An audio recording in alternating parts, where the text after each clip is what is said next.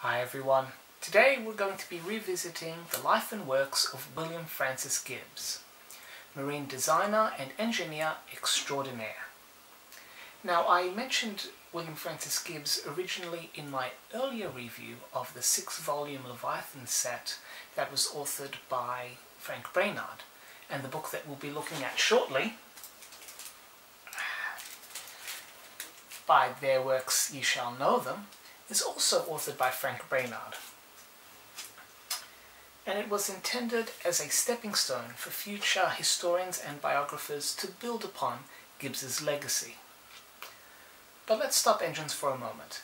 Let's go back in time and have a look at the life of this interesting man. William Francis Gibbs was born in 1886 and became obsessed with ships when he saw the St. Louis being launched in 1894. From that moment, he was absolutely obsessed, totally consumed with ships, their design, and particularly their propulsion. Together with his brother Frederick, they put together a set of preliminary plans for a pair of 1,000-foot, four-funnel express liners that got the attention of J.P. Morgan himself. Unfortunately, World War I intervened and scuttled those plans, but William made his mark on refitting the Leviathan, America's future flagship of the 1920s. The first liner design that he was able to create from the keel up was the Matson liner Malolo, which coincidentally demonstrated the benefits of Gibbs's uncompromising approach to safety.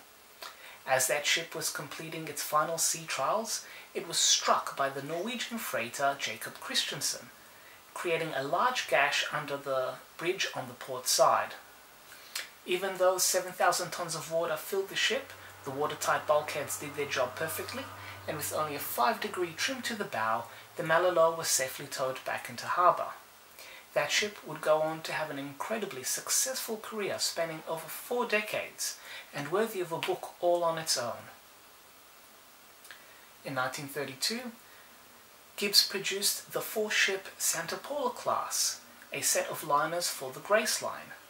They introduced his trademark windswept funnel that he would further refine on other American liners such as the America, latterly the Australis, and the SS United States. The Grace liners also incorporated a cool new invention, which they called the Sea Garage. Basically, a passenger could drive their own car onto a designated space inside the ship, park it, and literally take their car with them on the voyage.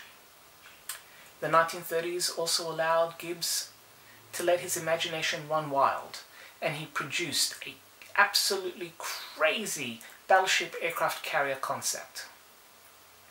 That was seriously considered by the Soviet Navy. And for those who are interested in that particular design, may I recommend the chapter set aside in Stephen McLaughlin's book, Russian and Soviet Battleships. But back to Gibbs and his other work. Also in the 1930s, he was pioneering high-speed steam machinery, and this got the attention of the United States Navy. And that partnership resulted in the development of several destroyer classes, including the Marne, Sims, Benson, and Gleaves. As World War II came about, Gibbs's firm rose to the challenge and they designed the Atlanta-class cruisers, were fundamental in creating the landing ship, which was pivotal to the perfection of amphibious warfare that was used on both theaters of the war, the Atlantic and the Pacific, as well as playing a large role in designing the iconic Liberty ship. In 1952, Gibbs produced his masterpiece, the SS United States, the fastest ocean liner of its day, and still afloat right now in Philadelphia, just waiting to be preserved. Franks's book is a catalogue of the impressive variety of ships and ship types that Gibbs's firm worked on. He has, in addition to a summary of what was done and the standout features of those designs, he has also ensured that there is a photograph either of the specific ship or ship type that is illustrated within the book. In addition to an account of his designs, we also get to see how Gibbs himself developed from an obsessive shy boy into an obsessive, no-nonsense man who absolutely loved to solve problems. We also get to have a look inside his personality through anecdotes from those who knew him best, as well as quotes from the great man himself.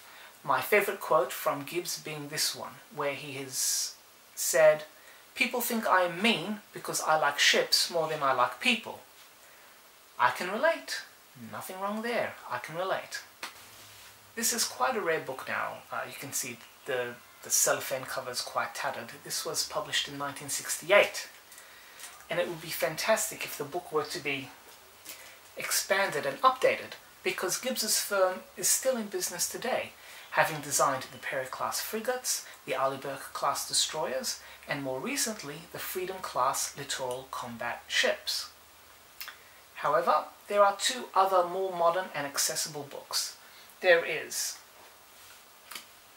The Big Ship, The Story of the SS United States by none other than Frank Braynard himself, and much of the early chapters is taken verbatim from Gibbs's biography. So you have this one.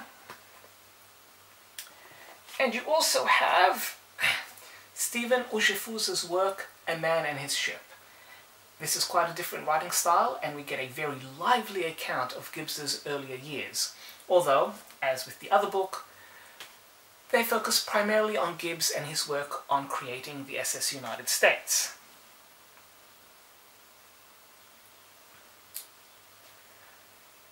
Now for those who want to understand how American shipping evolved in the 20th century, as well as the creation of some of the longest lived passenger liners. I mean, we're not just talking about the United States here and the Malolo.